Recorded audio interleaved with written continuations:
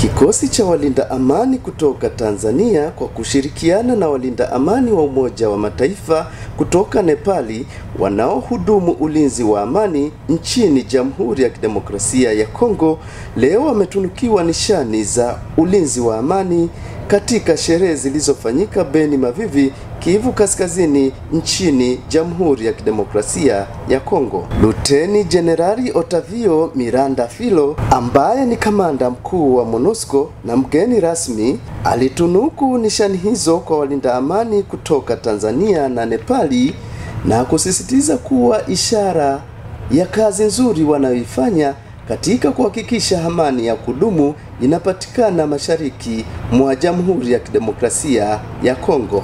Thank you so much for our question. Asante sana. Nina furaha kubwa kwa hii nafasi ya kuwa hapa leo pamoja na vikosi vya Tanzania na Nepal ili kutambua kama Force kamanda utekelezaji na mafanikio makubwa ya vikosi hivi. Vimefanya kazi nzuri sana na niko hapa kutambua hilo na kusema asante. in an outstanding way. And I'm here to recognize that and to say thank you for both uh, contingents.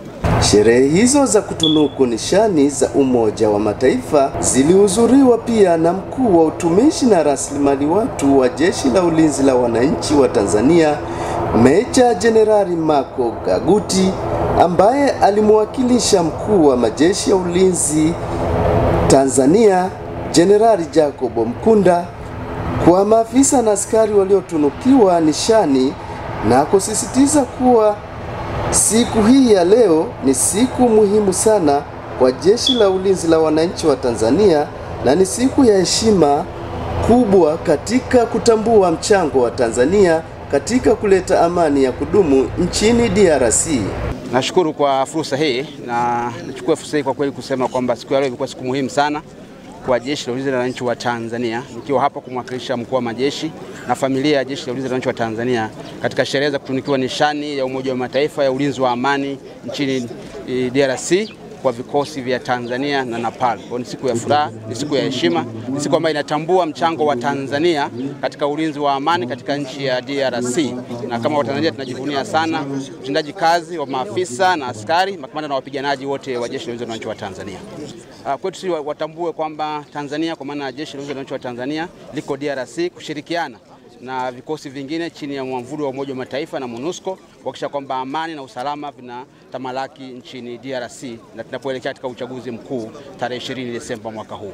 Naye kamanda kikosi cha kumi Tanzbat Teni Luteni Kanali John Peter Kalabaka amesema walinda amani kutoka Tanzania kutunukiwa nishani ya ulinzi wa amani hapa Jamhuri ya Kidemokrasia ya Kongo ni ishara ya kukubalika na Umoja wa Mataifa kwa kazi kubwa inayofanywa na walinda amani kutoka Tanzania. Kwanza niseme kwamba ni siku ya furaha kwa walinda amani eh, kutoka nchini Tanzania kutunukiwa nishani ya ulinzi wa amani hapa DRC, na nishani waliotunukiwa ni ishara ya Umoja wa Mataifa eh, kuonyesha uh, kukubali kazi kubwa inayofanywa na walinzi wa amani kutoka nchini Tanzania ambao wamekuja hapa nchini Jamhuri ya Kidemokrasia ya Watu wa Kongo kwa ajili ya jukumu la ulinzi wa amani. Meja Neema Alfred Neligwa ambaye ni matroni wa kikundi cha kumi cha walinda amani kutoka Tanzania na afisa mwanamke amesema wanawake wana uwezo wa kufanya kazi za ulinzi wa amani na pia ni heshima kwao kutunukiwa nishani za Umoja wa Mataifa. Mimi kama afisa mwanamke ninajisikia furaha sana kutunukiwa nishani ya ulinzi wa amani hapa nchini DRC, kwani imeonyesha kuwa ulinzi wa amani huu, kwani imeonyesha kuwa tunathaminiwa na tunakubalika katika kazi tunazozifanya za ulinzi wa amani. Furaha sana kwa sababu nimetumikia chini ya FIB MONUSCO na nimewakilisha wanawake wote wa Jeshi la Ulinzi wa Wananchi wa Tanzania. Vilevile vile nimewakilisha wanawake wengine duniani kote kuwa na sisi tuna uwezo wa kufanya kazi hizi kama wanavyofanya wanaume. Kwa tunajisikia furaha sana. Kwa mara ya kwanza nishani za Umoja wa Mataifa zilianza kutolewa mnamo mwaka 1950 hadi mwaka 1953 wakati wa vita vya Korea.